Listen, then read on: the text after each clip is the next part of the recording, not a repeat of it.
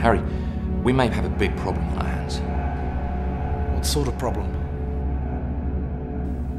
Do you think it was him? All the stories of violence and fighting in the world.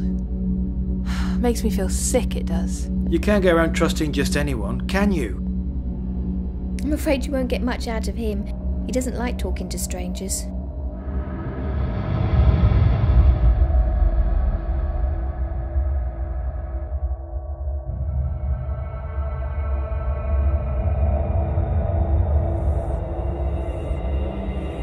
That's her. That's where I've seen that girl, Alice, before.